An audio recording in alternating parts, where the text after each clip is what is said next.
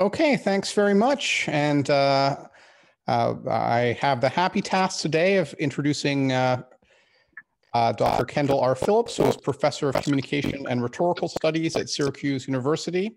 His research focuses on the intersection between politics and popular culture with particular attention to horror cinema. He has published several books on, on horror films, uh, which I will dutifully wave in front of the uh, in front of my webcam now, including Projected Fears, horror films and American culture, Place of Darkness, the rhetoric of horror in early American cinema, and most recently, A Cinema of Hopelessness, the rhetoric of rage in 21st century popular, uh, 21st uh, century popular culture, which I do not have at hand.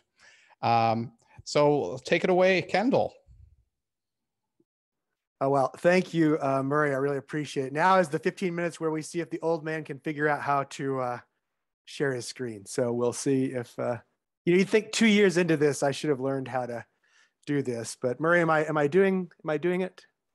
You appear to be. Okay. Tell me if I actually get to the part where you see only the big screen. Did I do it? That you've got it. Yay! Correct. You can teach a very old dog new tricks. Anyway, first of all, thank you, Murray. I, I was so happy to hear that Murray would be chairing. He is not only one of the best scholars in the field that I know, an encyclopedic brain that seems to know everything, but also like the most lovely, gracious human being I have ever met. So I'm always feel better if Murray's in the room. I just feel a little safer knowing he's nearby. I also want to thank uh, Craig and Chris and all the amazing folks at Fear 2000. I have desperately wanted to come. We've sent graduate students. I, have planned every year to come. So to have the chance to be invited is, is super uh, exciting. Uh, I'd also say thanks to all of what I'll call the invisible labor. I've, I've put on some events of this magnitude. And so I know the number of students, post grad students, administrative staff, tech people, friends, partners, family who are rallying around the cause to make this happen. So my deep gratitude to all of them. And the last thing I just say quickly is, is congratulations. Um, I was able to see uh, some of the very early panels this morning. They were amazing, uh, humbling, uh, super incredible, great scholarship. And I think it's a, it's a testament to the hard work of the folks at Sheffield Hallam University but also, if I could be allowed one editorial comment, I think it's just a wonderful testament to the growth of horror studies. I have been uh, scribbling around these parts for the better part of 20 years, uh, and to see the incredible growth in horror studies, not only in terms of the number of people and the quality of scholarship, the diversity of perspectives and backgrounds and ideas, but the growth of community. And that is not accidental. That is folks like uh, Craig and Chris and the folks at Sheffield, the Johnny Walker and that group uh, doing the work at, about exploitation, the, the great work going on at Pittsburgh with the Romero Center, the amazing leadership of SCMS's Horror SIG. So uh, if I'm allowed one editorial comment, I want to say how exciting it is to see this community really developing, to learn from all of you. And as an old person on the edge of that community, I am, I am warming myself on the fire your brilliance. Um, so uh, to get to the talk, uh, I think like a lot of Americans uh, and probably much of the globe, uh, I find myself the last week or so really thinking about uh, September 11th, 2001, uh, particularly as we approach the 20th anniversary of that horrible moment tomorrow. And I think one of the things I, I find myself puzzling over is the way that this kind of wave of anger and violence that emerged out of the US and I would say a lot of the West towards the rest of the world after that event has really shifted. And so that same wave of rage and anger and violence that was once aimed outward seems to have turned inward towards the structures of governance within the United States. And so I guess I'm puzzling over this transformation uh, from post 9 11's militant patriotism that called Americans to rally around the flag and their government into a rabid anti government sentiment that led an angry mob of those same Americans to murder a US Capitol police officer and storm into the halls of the federal government. So, in my presentation today, I want to try to trace the circulation of the affect of rage through, to borrow the felicitous phrase from Sara Ahmed, our affective economy. Now, by this term, as you all probably know better than I do, she means the complex networks through which shared feelings move through the social body, align individuals with community, and create a shared sense of the world. So, in what follows, I want to think about how films become part of that, particularly horror films, uh, part of this affective economy, how they work to circulate feelings and invite audiences to share not only certain feelings, but certain orientations by structuring affect within their narratives and visuals. I want to do this by looking at the media texts of the Purge franchise. Uh, the Purge franchise, I think, is actually particularly interesting and maybe a little bit unique. Uh, it's one of really only a small number of horror franchises that have been, so three things here. First, successful at the box office. And these are five films have grossed 328 million domestic, 532 global on a combined budget of just over $50 million. So they've been successful. Uh, they've been primarily under the control of a single filmmaker, James DeMonaco, who wrote all five films, directed the first three. And I would say all five films have been interested in political critique. And here I'll cite no, no, none other than the amazing Stacey Abbott, uh, who, in her incredibly insightful analysis of the Purge franchise, argues that while the series can be at times a bit formulaic and, as she says, uh, aimed at a mass audience, they nevertheless offer social commentary and moral nuance alongside high octane action and jump scares. Uh, and indeed, I think the only other franchise that comes close to this is maybe Romero's Dead trilogy. Although Romero's Dead trilogy, as most of you know, was a not always successful at the box office, but also spaced out over decades. So Romero in the 60s and then the 70s, the 80s, the 2000s. Whereas DeMonaco's films have followed the contours of America's changing political tone and affect over the period of just eight years. And those were, I don't need to remind us, particularly volatile eight years that saw the end of the Obama era and the rise and then fall of the Trump presidency. So, in what follows, I want to trace the movement of the affect of rage through the films and related media texts of the franchise. I'll do this by first examining a little bit in more detail the initial uh, entry 2013's the purge and its relationship that i find between some of the social protests particularly around the occupy wall street movement in the second section of the talk, I want to very quickly stair step through the other four films to look at how this affective echo shifted and transformed in relation to the dynamic changes in American political culture in the period that saw the rise of Donald Trump to the nation's uh, highest office. And in my absolute concluding remarks, because I promised Craig I would talk about transmediality, I intend to examine the way this affective echo begins to work in, and is amplified through the transmedial nature of the franchise, considering, for instance, its presence on television and social media. So, if September 11th was the event that unleashed this wave of kind of militant, violent, xenophobic rage across and out and from the United States, and of course was picked up by a lot of other countries in the West and global North, I want to suggest that one crucial inflection point where those feelings of anger and frustration and fear were redirected inward occurred in 2011 in New York City's Zuccotti Park in the form of the Occupy Wall Street movement. What began as a protest on Wall Street was, if those of you will remember, quickly replicated across uh, cities across the country and indeed around the globe, and then became kind of connected in interesting ways with similarly framed protests in uprisings in Tunisia and Lebanon and Egypt, I think also in the Brexit movement, and probably also in the American Tea Party. Now, it's tempting to want to obscure all these individual efforts by seeing them as part of one single movement. But I want to avoid this temptation and suggest that instead of thinking as Occupy and these other related uh, uh, moments, uh, issues uh, as movement, instead we think of them as responding to a powerful moment. Uh, indeed, W.J.T. Mitchell posits that Occupy might be thought of not as a movement, but as a revolutionary moment with all the associated ambiguities of the merely momentary and, and ephemeral, alongside a sense of a kind of momentous turning point in culture. So, following Mitchell's sense of occupy as moment rather than movement, I want to trace some of the ways this powerful moment echoed through American popular culture in the years following Occupy by using DeMonaco's The Purge as a prime of example of what I call post Occupy cinema. So, in the interest of time, I will not uh, delve too deeply into the complicated uh, aspects of the Occupy movement and its political rhetoric. And instead, I will ask your gracious permission to simply stipulate what I think are three fairly obvious and powerful orientations to how Occupy invited people to feel. Uh, the first of those was that Occupy was very much focused on the evil of the system. Now, the system is a necessarily vague and ambiguous concept that includes broad structures of political, social, economic governance. But in Occupy, that system was irredeemably evil. It was not to be reformed. It could not be saved. It was, in and of itself, entirely, fundamentally, irredeemably evil.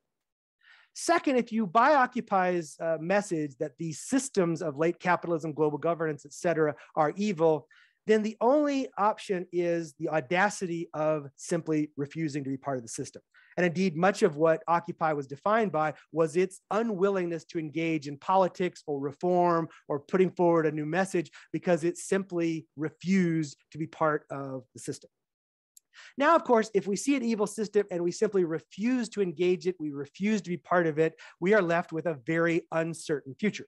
And that is the uncertainty of what would remain. And indeed, uh, this was part of the problem, of course, of the Occupy movement is that once the Occupy movement was over, people said, well, they didn't do anything. Well, I, have challenged that, and I can have that conversation uh, in the in the chat afterwards. Because one of the things I think Occupy did do was unleash this feeling of anger and rage toward the system. It changed some of the language, it changed some of the visuals as it affected the affective economy within the country.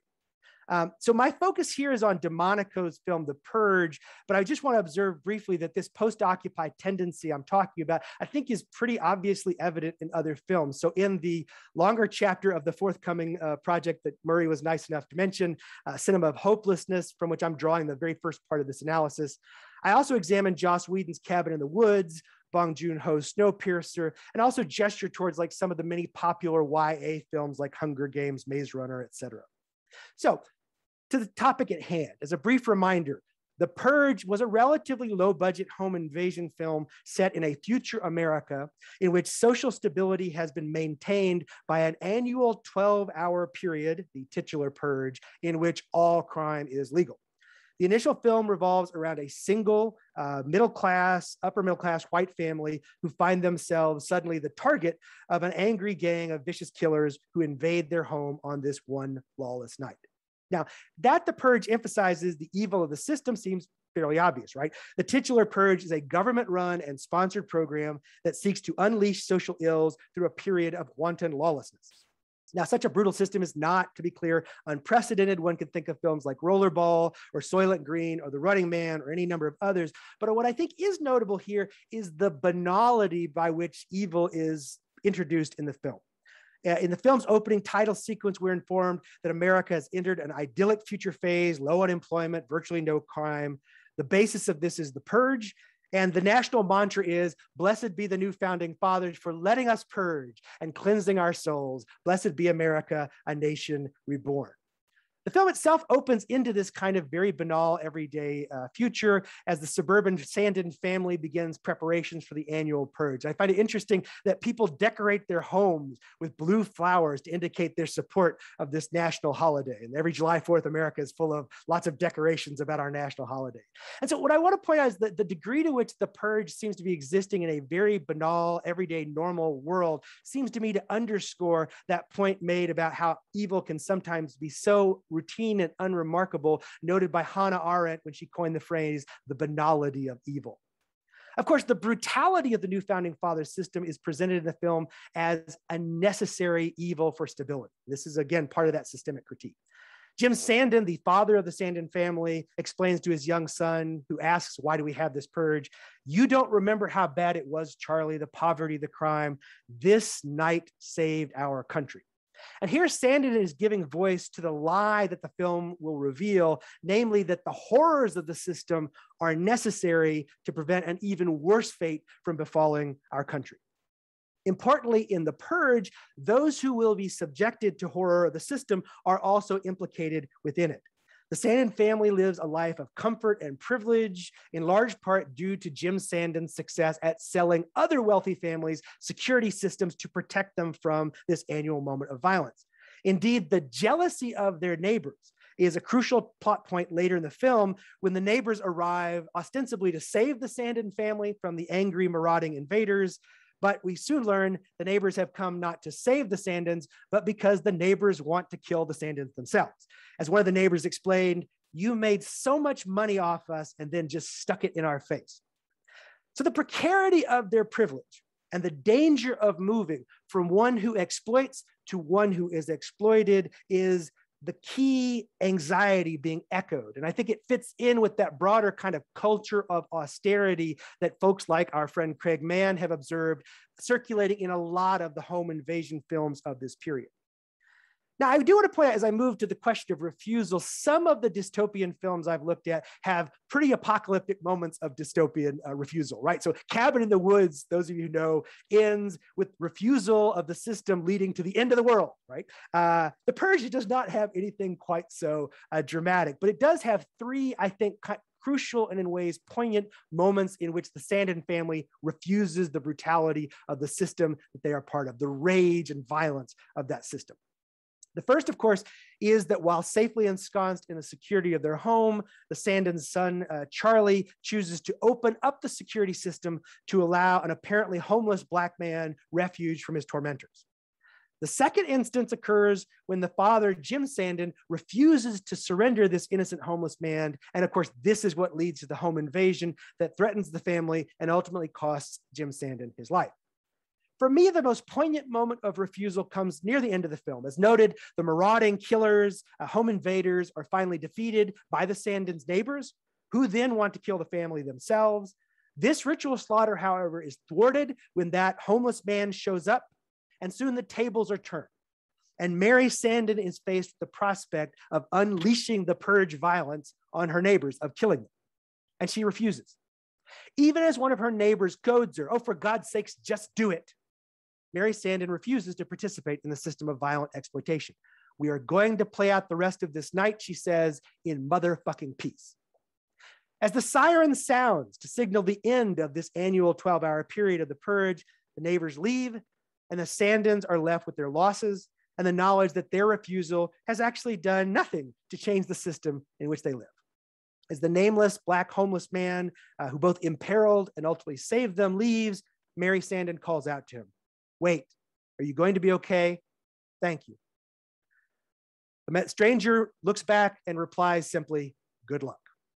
And indeed, both the Sandins and the homeless man will need luck as the system that sustains and imperils them remains. And in one year's they, time, they will once again face the violence and rage of the purge. Now, the success of the purge led to four sequels, and the next section, I will very quickly, I promise, uh, step through those films to look at the way this affective orientation towards systems of governance and order shifts across the films of the franchise, with particular interest in the way these shifts respond to changing conditions in American political life. But first, a brief excursion into rudimentary acoustics from a person who really does not ever understand anything about acoustics and echo, you'll see on screen right, is created by a sound source creating a sound, which then bounces off an object and returns to the sender. My analogy of affective echo then is intended to use this basic idea to suggest that at moments of cultural upheaval, these moments send out an affective wave that then reflects through future texts that carry it back into the culture. Hence, the affective orientation of the Occupy moment returns to culture in slightly altered form of cinematic narratives like that of The Purge. Echoes are, I think, also a bit like other allegories in that the sound that returns to us in an echo seems separate and sometimes altered from the version of the sound we created. Hence, the echo of an affect in some cinematic text will not be immediately recognized as emanating from the event of its creation, but rather may seem somewhat altered and strange. And indeed, this sense of distance, alteration, and strangeness is arguably part of what makes some cinematic texts uh, give us space for reflection since they resemble but not are, are not identical to the anxieties and chaos that produce them.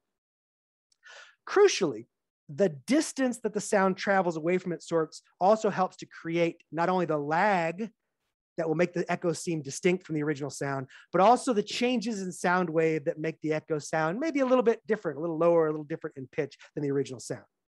When the distance are too short and the time is too short, the echoing sound is perceived as part of the same sound. And this, of course, is reverberation.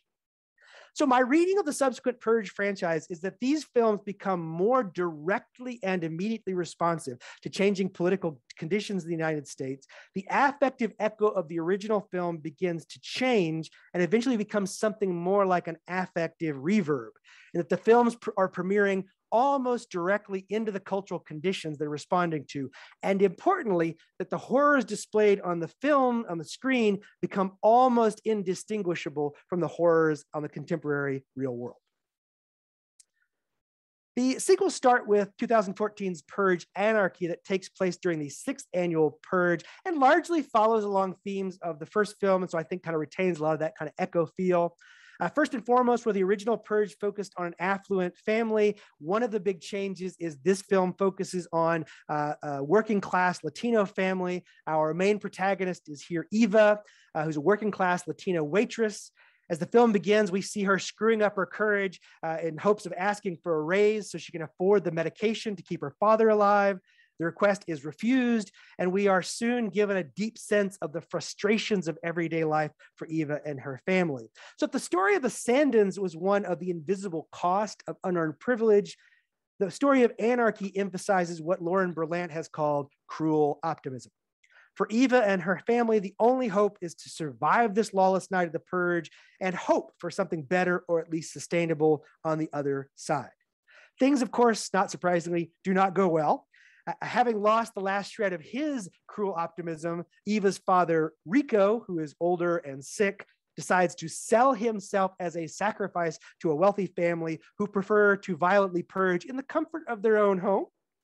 Um, Eva's night, of course, does not go much better.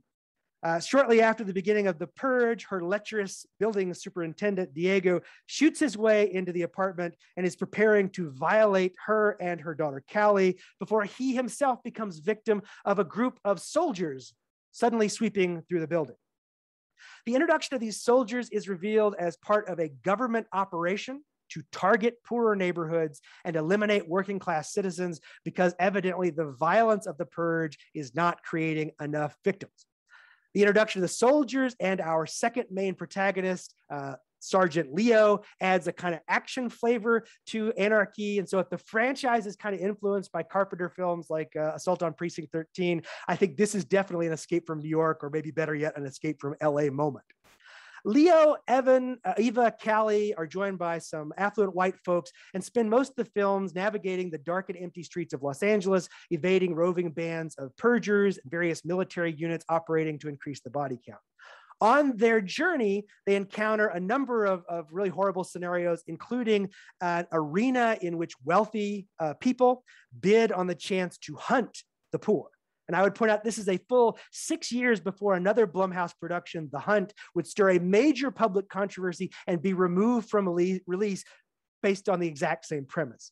Uh, the other thing Eva and uh, Leo and their compatriots find is a group of revolutionaries, a militant band armed and intent on overturning the new founding fathers and stopping the purge.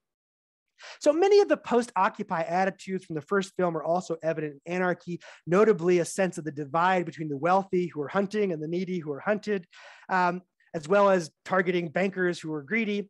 But where the first film leaves the source of this new brutally exploitative system a little bit ambiguous, we're not quite sure in the first purge why so much violence is there.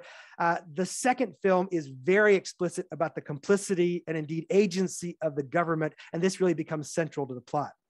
Uh, indeed, agent, uh, the agency of the government is absolutely crucial in that there's not only promoting, but the government is perpetrating acts of violence and targeting particular groups in the community. And this actually, this theme will become prevalent in the next two uh, entries in, into the theme. This emphasis on a government conspiracy, however, always remains a little bit ambivalent, in part because of the way the menaces are presented. Um, the film goes back and forth between kind of action sequences where soldiers show up but then also, more gruesome and horrifying encounters are usually being perpetrated by everyday purgers who are the ones wearing the fantastic cons- uh, costumes and wielding much more brutal weapons than assault rifles.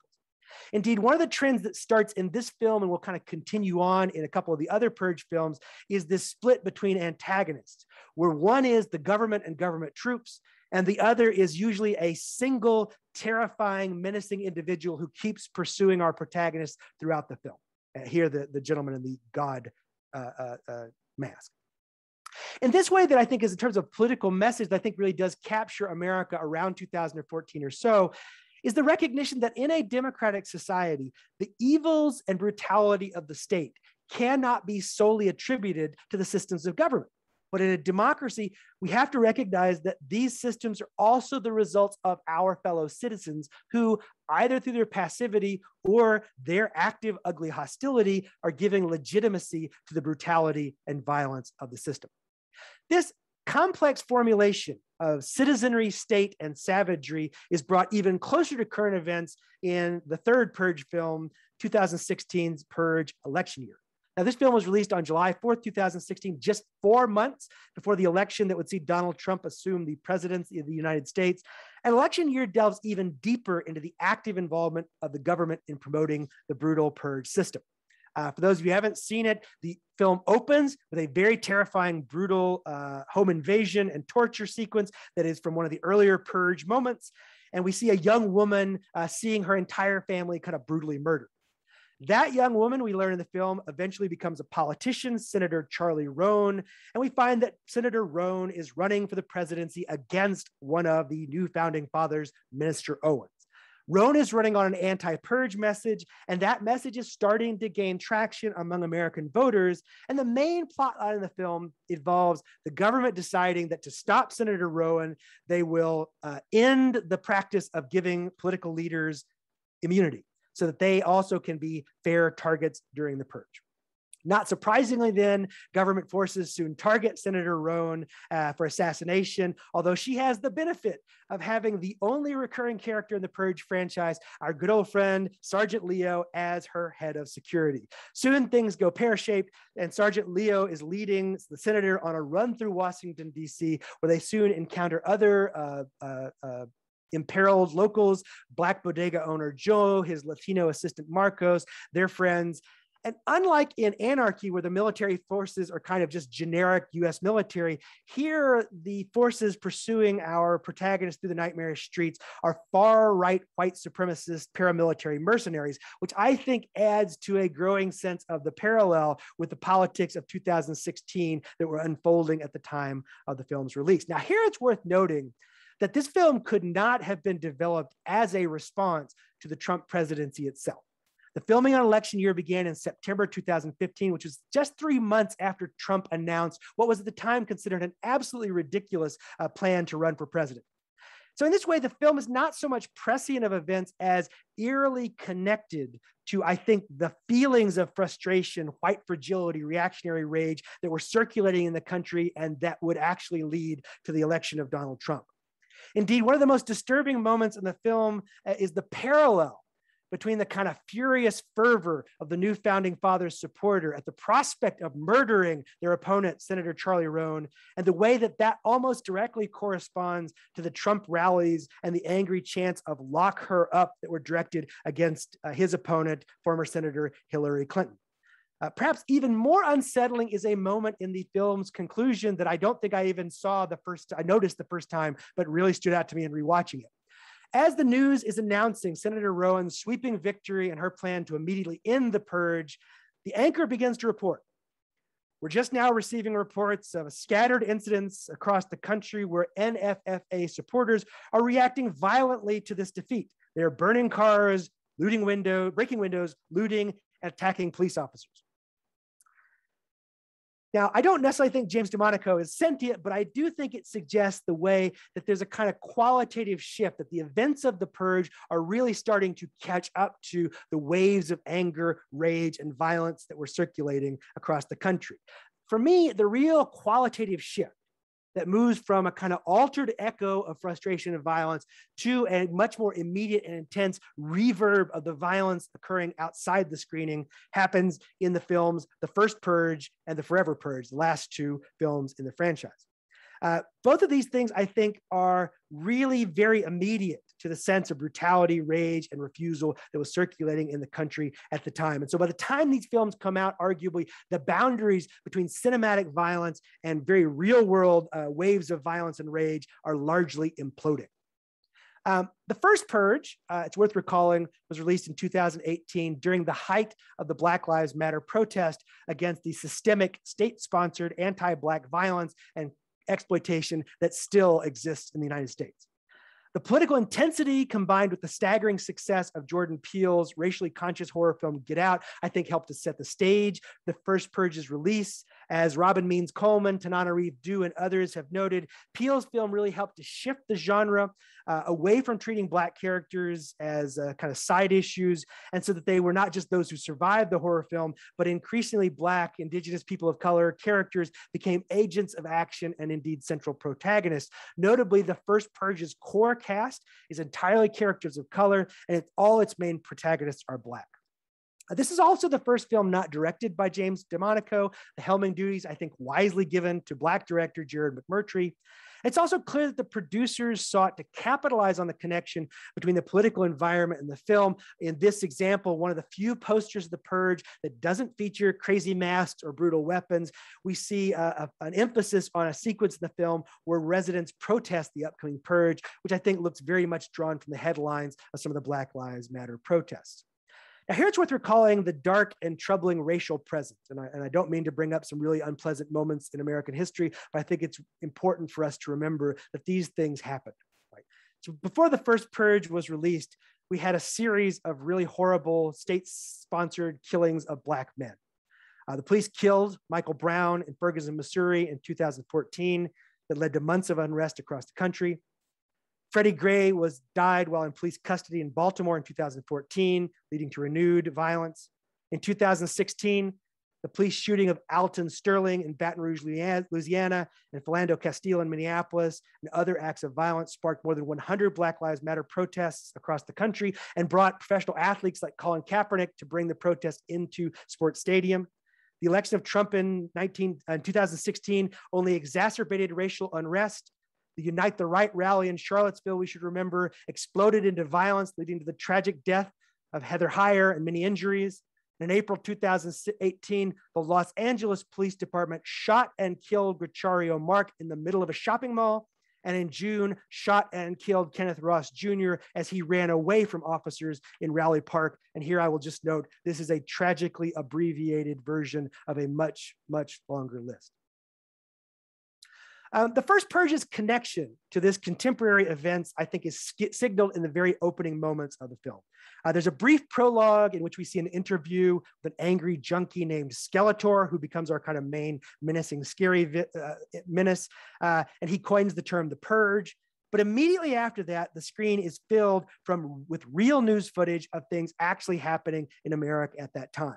Uh, the 2008 stock market, um, housing market crash, uh, rising unemployment, Occupy Wall Street, the opioid addiction, Black Lives Matter protest, right wing racists marching with Confederate flags. And so here, the fictional narrative that sees the new founding father as a chosen party of the National Rifle Association and rising to prominence really kind of blends perfectly into a political moment. In fact, the new founding fathers' political slogan is, We will bring our country back, which might remind some of you of another political slogan that had been circulating circulating right around that time. For the new founding fathers, slipping into this very real politics in the cinematic way, their first major policy initiative of bringing our country back is an experiment with the purge. Um, the plot of the first purge parallels long-standing critiques of American systemic racism, continuing that kind of immediacy. A poor and underserved community of color here, Staten Island, is positioned as the scapegoat for the country's problems. And instead of giving them, say, support, uh, they are instead subjected to more poverty, guns, drugs, and here, state sponsored violence. Indeed, the state sponsorship of the purge violence that had become prominent in previous installments is here depicted as the core motivation for the policy of the purge.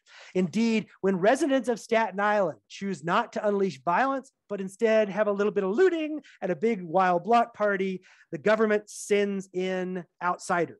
Uh, white supremacists, and mercenaries who begin to perpetrate violence against the residents who are then blamed for the violence that is being committed against them. Now, the need to keep these outsiders anonymous is why they wear masks, which then becomes the central visual motif in other films. For me, the introduction of these external forces provides some of the most disturbing images in the film. Uh, Ku Klux Klan members riding on trucks through the streets of a Black neighborhood. Persians dressed in police uniforms beating to death a black man in a baseball stadium. And for me, the most disturbing, the image of white supremacists leaving a community church covered in the blood of congregants, recalling quite vividly the murder of Black parishioners of Emanuel African Methodist Episcopal Church in Charleston, South Carolina in 2015 by, uh, by Dylann Roof. Now, while sombering and politically unsettling in its imagery, the first purge strikes a kind of defiant tone by the end, if not entirely optimistic. Our main protagonists, the community organizer Naya, her brother Aaron, and Dimitri, the drug kingpin who re- relearns his love of community, they survive the night of barbarity. And as they're walking away with other survivors in an image that bears striking resemblance to Black Lives Matter protests, someone says, What do we do now? Dimitri responds with the rallying cry that motivated so many real life protests, calling out the system of exploitation and injustice in the US. He says, We fight. So, I, as I've tried to sketch briefly here, the feelings of terror and outrage enacted on the screen during the first purge are very much contemporaneous with the exact same feelings and indeed images circulating in 2018, the middle of the Trump presidency, uh, and an era in which the nation's chief executive said some of the white supremacists in Charlottesville were good people. If this sense of affective reverb evident in the first purge is evident, I think it becomes absolutely palpable in 2021's The Forever Purge. This film picks up after the events of election year, with that film's happy ending, with President Roan ending the purge, summarily dismissed, President Roan's administration, we learn, has lost reelection, and the returning new founding fathers have reinstated the annual purge. Now, some of you may think that's just lazy script writing, but I will attest for Americans who were shocked by the surprise upset of Hillary Clinton in the 2016 election and the speed with which many progressive core policies could be abandoned and gutted and the tone of American politics turned on a dime. The speed with which the purge was reinstated felt unsettlingly familiar. Even more disturbing was this film's main conceit that a large portion of the American population had been secretly conspiring to ignore the end of the annual purge, and engage in what they call the forever after purge, a right wing racist uprising designed to purify the country of those deemed non American. Um, this purge purification force soon overtakes the country, and our protagonist, a trio of Mexican immigrants, a white rancher, his pregnant wife, and his sister, soon must make their way through the streets and roads of South Texas on their way to the Mexican border, since Mexico is now the safe place granting immunity to American refugees. And I think earlier there was a wonderful talk about From Dusk Till Dawn. I don't remember the author, so I apologize, but it was great about talking about that space as a borderland of possibility. And I think that trope is reenacted here in quite interesting ways. The parallels to the January 6th insurrection that saw a violent mob of Trump supporters break into the US Capitol building uh, is, is disturbing. More surprising is the way that the film had been completed, again presciently, in February of 2020, a full eight months before Americans went to the polls to remove Donald Trump from office, and 11 months before the violent uprising in DC. Now, again, I don't think DeMonaco has prophetic powers, um, but I do think it's clear that the purge has really picked up on and is reverberating with those emotions that are circulating, those emotions of rage and outrage and violent refusal of the very systems of social, governmental, and communal life. In the forever purge, as in the very real 21st century, it would seem that the rage stoked by right wing political rhetoric can, in fact, burst into flames and those not be so easily controlled or contained by those in power. Now, I'd point out I am not the first person to observe the similarities between the films, but I will say, as outlandish as the dystopian ending may seem, when you walk out of the film, and the images of the trucks full of purgers in the film look almost identical to the same pickup trucks parked in the parking lot, uh, you begin to feel that these images and motifs are no longer a distant echo, but are very much immediate and real. Now, I should point out that many critics did not like this aspect of the purge. There were a lot of condemnation that the purge was predictable, it was preachy, it was just giving us the same message. As an example, uh, fittingly writing in Texas Monthly, critic Kat Cardenas says, It seems fitting that the first anti, uh, first post Trump film satirizing Trumpism would be a purge film. But ultimately, she notes watching the film's coordinated militias who turn against law enforcement and military to pursue their natives' agenda feels bleak and disturbingly familiar.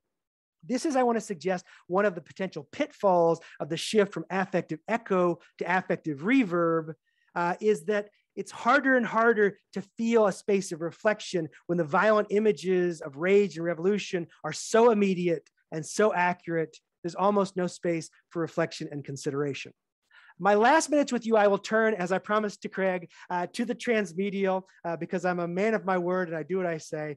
And in some ways, I would say I think the entirety of this talk has been about transmediality. Indeed, I would argue that to say affect is to have to engage in questions of transmediality because affects do not circulate, circulate through single channels. And throughout this talk, I've looked at, I hope, the movement of images, themes, motifs, and feelings as they move between news reports and films and culture and pop culture in and around the fictional world of the Purge. But of course, in the, especially in the post-Marvel pop culture universe, we are always going to have more than just one channel uh, for any cinematic space. And that is certainly the case for the dystopian world of the Purge. And here I'd note that the various transmedial efforts, both on television and social media and other ways, have sought to further blur the boundary between the cinematic dystopia and the world of the purge. Very briefly, uh, in their effort to promote the very first purge, uh, Universal and Blumhouse launched a social media campaign around the hashtag survive the night, asking potential audience members how they would survive a real life Purge Night. And Twitter users quickly took up this hashtag, not only to discuss the film, but also to talk about uh, social unrest and like the 2013 government shutdown. So audiences were already seeing Survive the Night as a kind of immediate political moment. Uh, for the 2018 film Purge Anarchy, the studio rolled out a traveling haunted house experience, The Purge Breakout, an immersive escape room style attraction that asked audiences to engage in the reality of how they would survive the night. The blurring between politics of the real world and the politics of Purge uh, was beautifully accentuated in a clever campaign that took the motif of a uh, campaign, political campaign advertisement, but instead of voters saying, I voted, they say, I purged. Um, and finally, the television show that I wish I had more time to talk about, and certainly I'll, I'll look forward to hearing folks who watched it, their thoughts, uh, really focused on this, not only by bringing the Purge narrative into people's uh, living rooms and by exploring the kind of broader world of the, world of the Purge, but by really maximizing use of their websites for things like the Purge Mask Creator, the uh, Purge uh, Shopping Network, where you could buy a program, Couch to Purge, and a cleaning product called Purge Away that helps you get all those nasty blood stains out. And my favorite is an iOS Android game called The Purge Augmented Reality, where, uh, where audience and fans can set up a barricade in their actual house and then be rated on how effective it would be to stop the purge. So for me, all of these transmedial channels continue this work of shifting from affective echo to reverb by asking audiences to think about what the real life purge would be like, even though in many instances, if they want to know what the purge looks like, they have only to watch the nightly news. So, in conclusion, the proliferation of media channels through which to experience the narrative of the purge, I want to be clear, I'm not saying are in any way to blame for the spiral of unrest, protest, and violence. Rather, I'm trying to suggest that looking at the franchise and its various transmedial iterations is a way to map the feelings of rage and the affects of violence that have been circulating in and around the United States and become increasingly directed towards the social structures. My final word, I want to quote uh, the American rhetorical critic Kenneth Burke. Kenneth Burke once described literature as symbolic equipment for living in the world. Now, I'll simply end by saying if the same can be said of cinema, particularly horror, horror cinema, I think we're left to ponder the question what kind of world is the purge equipping us to live in, and how do we survive?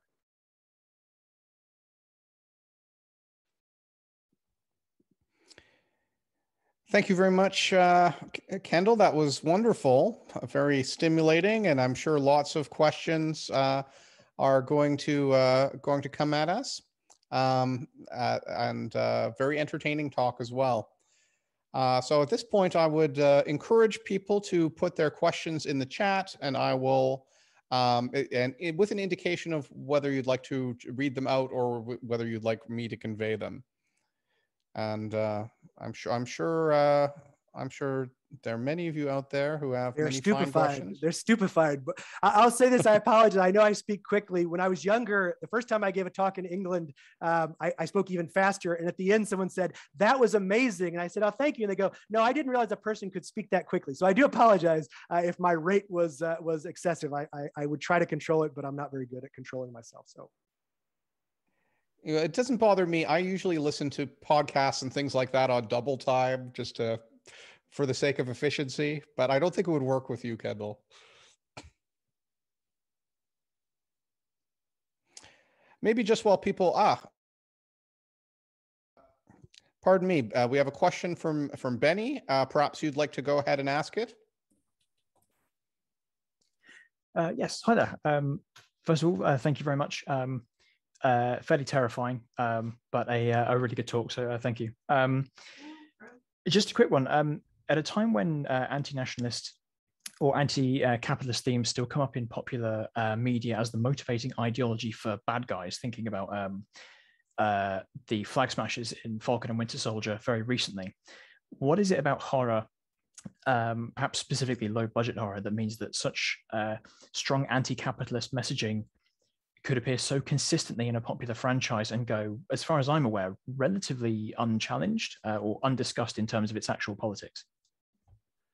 Yeah, I think that's a great question, and I, and I would note, and again, this is part of the, the, not to plug the book, but if you if you I don't buy the book, it's too expensive. But if you get a library to buy it, then, then you can look at the shit, and then you can laugh and feel better about yourself. But um, I do think you know it's it's interesting if I go back to to you know iconic old texts like Andrew Tudor's you know Monsters and Mad Scientists, and he makes the really brilliant point of the shift from the kind of horror of security, where the threat was to the system, to a paranoid where the system isn't going to protect us. I think we're seeing the kind of next evolution of that, and Jeffrey Weinstein Weinstock has written about this, so I won't pretend like I'm some super guy who figured this out. Uh, but the shift to like the systemic evil, and so you think about like all of I think the haunted house films that have been resurgent are kind of like the space that's supposed to keep us safe uh, is doing that, and I think when it's done well, and I think the Purge does it well, it asks us to reflect on.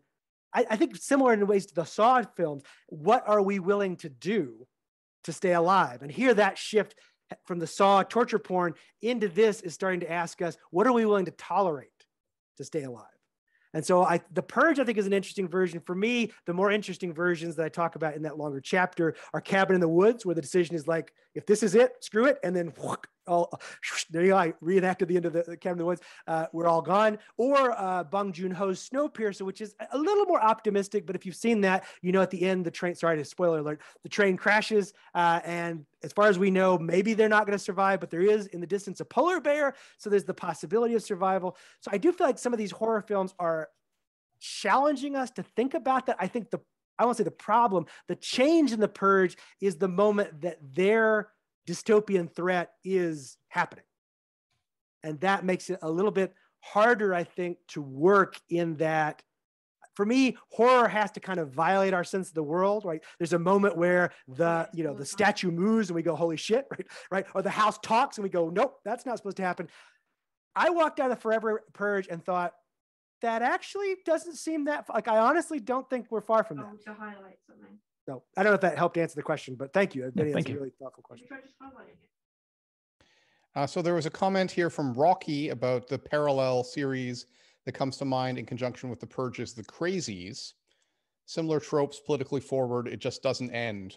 I, I, I guess that that's maybe something you can chew on as well.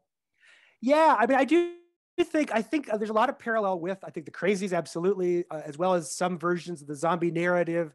Um, and in fact, in in the chapter I allude, I think Rocky was actually where I first gave this talk. So hi, Rocky, good to see you again. Uh, I had a hor- I had a really horrible talk I gave at Butler, and I think so. Rocky, I, I appreciate the question, um, but I think you know, like television shows like The Walking Dead kind of play out this dystopian stuff as well. Although, again, interestingly, if you look at like the arcs of The Walking Dead, they aren't ever really trying to create community. Most of it is actually trying to resist community, right? So it's the governor or it's Negan or it's the Whisperers. Like it's every time, and now if people are still watching The Walking Dead, it's the Commonwealth. Every time there is a system of governance, the, the protagonists of the, of, of the Walking Dead want to push it away. And I think that is kind of that ambivalence between the desire for social order and community and the fear of social order and community. What I think has changed in, in things like uh, The Purge and others is that there is almost no hope in community. Like we almost have no hope in each other. That's very interesting. Uh, I wonder if you know of a Canadian film called Red Letter Day. Uh, it, it borrows a bit from, uh, it comes from Calgary, my hometown. I know the director slightly. Uh, I could probably, uh, I, I, could probably get it to you if there's no other way. Uh, and it's, it, it's an interesting one because it, it's sort of a Canadian low budget variation on the same idea where everybody's being sent letters saying you have to kill this person or they'll kill you.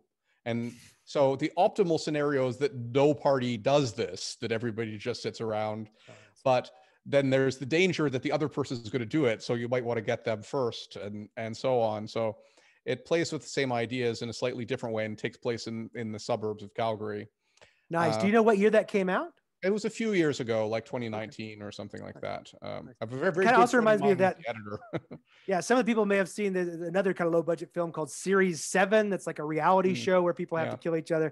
So I, I, definitely think I think, and I will say also, I should make the apology that I forgot to make. I, I am very much focused on North American culture and particularly American culture, um, and so I I do recognize that some of these narratives get played out in very interesting different ways uh, in other countries. I, I thought, for instance, uh, when I was doing this project about the Wandering Earth, this uh, the big budget, budget sort of dystopian Chinese film, which has a very different attitude towards community and systems. So I don't want to pretend that the American uh, version is the only version. I will note that it still is having a disproportionate impact on the rest of the planet. Uh, and so, you know, th- that's why I tend to still focus on the US culture. But I, I will look that up, Murray. I'm always fascinated to see how these tropes get played out in diff- slightly different cultural flames. And I know that Canada is a totally different country.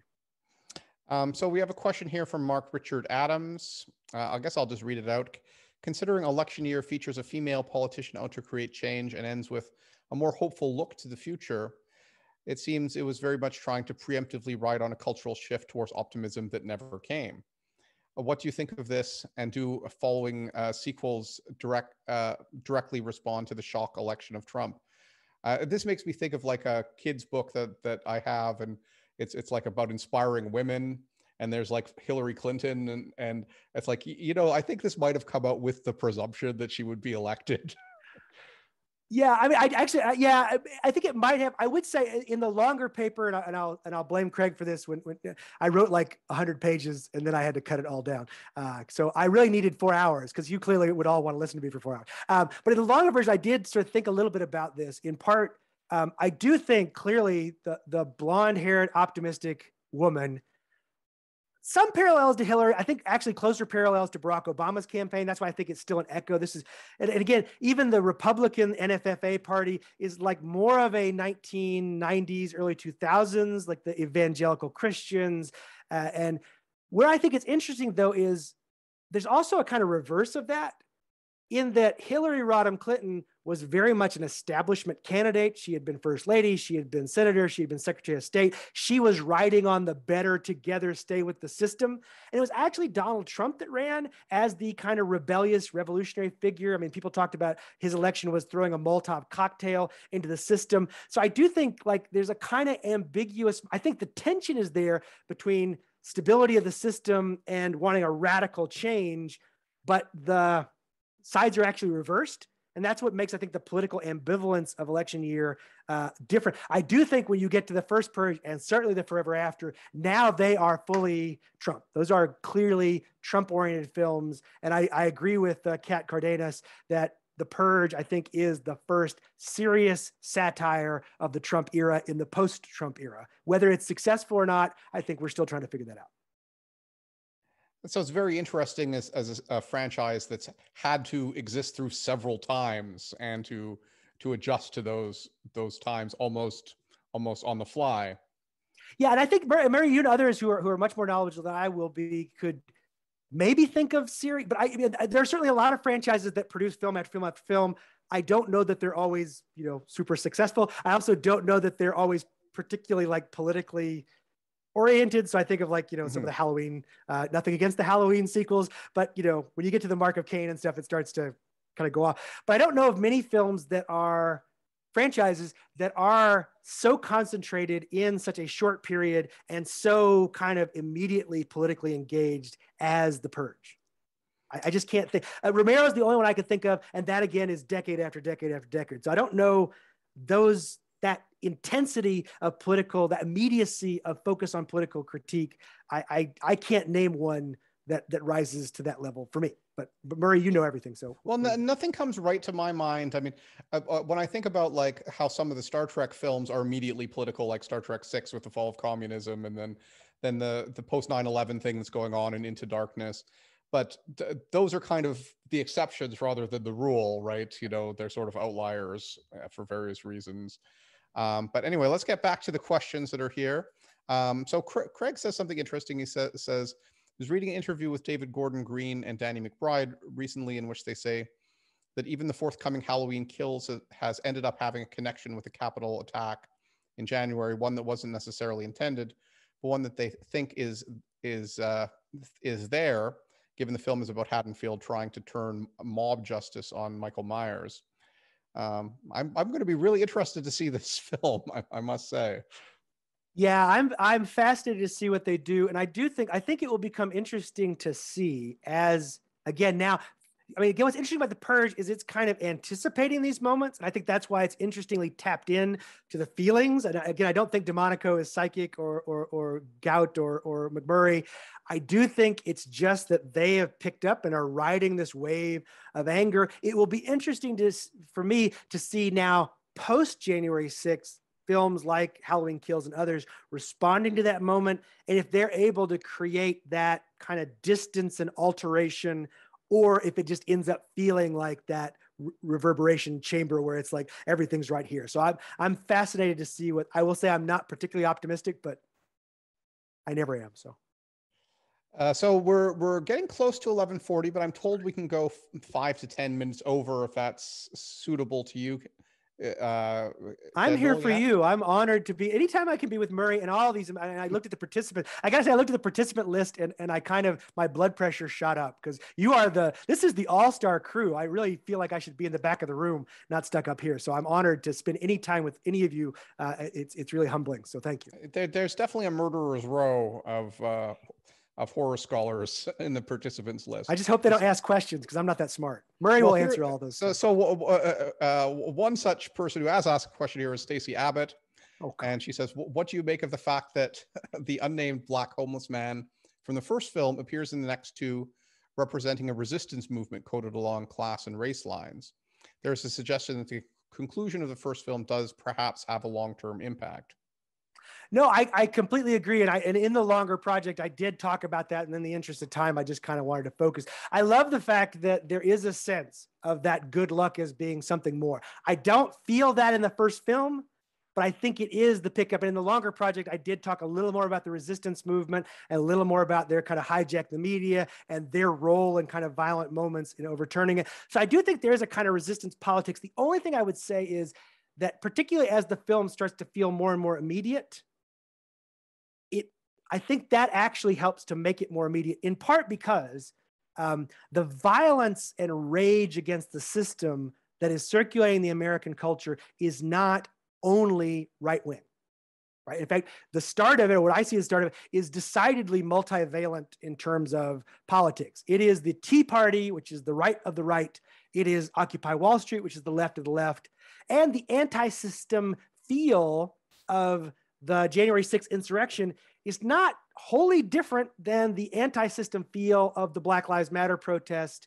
So I feel like this one of the things I really try and do in the book is to not get drawn into thinking about these affects as having political valence, but to recognize them as circulating widely. So I don't again, in America right now I feel like many people don't feel that the system is working the question becomes what do you do and, and that's where i think exactly to stacey's brilliant point as always stacey's uh, i told you read her that chapter is amazing um, that the the use of the homeless black man as part of the resistance that then becomes increasingly prominent, I think is absolutely crucial to thinking about the political possibilities of the film.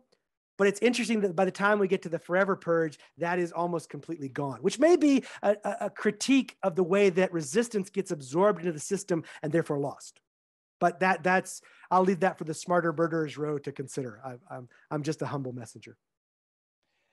So perhaps I can call on Joe to ask his question. Uh, yeah, uh, absolutely incredible talk. Um, as a huge fan of the Purge franchise, and especially the second uh, TV series, which was brilliant. Um, everyone loves Max Martini. Um, yeah, my, my, question is is about this idea of radical change um, and the difference between left and right in action of it. So, in in your book, you mention uh, Cabin and Snowpiercer as a as films that represent the idea of radical system shutdown and radical change that could be seen uh, for a a way to escape capitalism and be an anti-capitalist other world that comes out of that. Um, do you think the Forever Purge maintains its post-election year nihilism by drawing on a more right extremist sort of order of the nine angles accelerationist there is no political solution version of a um, system shutdown. And as the echoes of the series collapse into reverberations of what do you reckon that could mean for the future of the franchise so uh, first of all, I absolutely agree. I, I, think the the by the time we get to the Forever Purge, a choice has been made about what the dystopian future looks like. And so, whereas I think the first film leaves, I think powerfully a very pessimistically ambivalent moment, right? Where the, the system is refused, which is a moral victory, but there's no possibility of political victory, albeit as, as Professor Abbott points out, that evolves over the, the system. I do think by the end, they have embraced this kind of radical, where I think is interesting in the politics of that to get to the, the actual question, is the use of Mexico as a safe haven, which I think Canada was also. So thanks, Murray. Uh, I'm not that far from Canada, so I'm coming to your house when it all goes down, Murray. Uh, just send your address and uh, some money so I can get there. Um, but the use of Mexico is, you know, obviously uh, it plays on, as I mentioned earlier, uh, the borderlands idea, which the brilliant talk about Dusk Till Dawn uh, mentioned earlier today. Um, it also picks up on the irony, of course. The film opens with Mexican immigrants uh, sneaking across the border uh, to find a life in Texas. It ends with those same folks leading their white employers back across that. So that's kind of a political play. But I also think there may be a gesture towards international and globalization uh, or global globalism, transnationalism. That is that the American exceptionalist myth that we are somehow chosen people, special on the hill, and you Canadians are lucky to be next to us, and those Mexicans are better be happy that we don't close the wall that arrogance and hubris of the American century, I think, is being called out. And maybe the possibility for the future is in uh, stepping off of that pedestal and into a more global, really in the Kantian sense, cosmopolitan engagement with the world. I don't hold out much hope that that's the direction American politics will go. But I do think that use of Mexico as the safe haven, and there's a great moment at the end of Forever Purge where uh, the, the, the wife of the rancher gives birth and they point out, well, now your child is a Mexican Mexican citizen, the play on the anchor baby. I think that is clearly a kind of direct poke at Trumpism, but I think it's also the suggestion of a kind of citizen of the world. And that if we want to escape from the systems of capitalism and exploitation and the ways in which the global north has exploited the global south and the precarity of climate change, and you know, the list goes on, I think there's a suggestion that the only way out of that systemic spiral into death and, and rage is through recognizing something like common humanity that exists across borders. So thank you for the question, Joe. Really, really smart. Uh, so perhaps we should make uh, Lindsay Hallam's question the last one, and I'll just read it out quickly. And that's uh, she says she wanted to know more about the effective power of the place of streaming in terms of distribution of the films. The first Purge came out on Netflix in the UK during the first uh, lockdown within a couple of weeks of the George Floyd murder watching at that time was incredibly uh, charged. It wasn't so much thrilling to watch as painful. Yeah, I think this is a big part of the shift. And, and it's interesting that the Forever Purge was released in a traditional theater format. So clearly, at least Universal wants to stick with their old model. But I do think it's part of that the the moment at the end that I did not fully develop. So Craig, I'm sorry, uh, but at least I got to something of it. Uh, was that idea of the transmedial channels and the ways in which bringing that into the home provides a different kind of viewing environment and also changes that historical context. And here, of course, I know uh, Stacey Abbott and, and, and, Helen Wheatley and all of the amazing folks who've been working on, on uh, horror television. I've been reading your work and learning a great deal, though I'm getting to television. I'm just a little slow. So um, amazing stuff there. But I do think it is one of those ways in which the political context uh, will continue to change as those feelings are circulating in through this new technology. And so it'll be interesting to see um, if, for instance, the Purge TV show continues or is, is, renewed at some point, or if the next Purge film is engaging into more of a streaming services, if that is going to change the ways in which what is still traditionally a kind of home invasion film feels and how it engages those politics. And it's interesting to me, as last point on this, the degree to which the franchise has kept a lot of the plot points of the home invasion, but has been moving further and further away from the home right? From the purge through anarchy, which is mainly the streets of Los Angeles. By the time we get to the first purge, it's the entire Staten Island. And then we get to the forever purge, and now it is a race across South Texas. So we're seeing that kind of home being decentered as a space of safety, which I think in, in interesting ways may interact with streaming uh, as, as, a kind of new mode of, of engagement. So, I, but I, I, would love to hear Lindsay. I'm sure Professor Hallam would talk much more intelligently. So I'll I'll look forward to uh, hopefully seeing you all and buying you a pint, and you can tell me all the things that I didn't get right or that you could add to this because I'm always a student of your wisdom.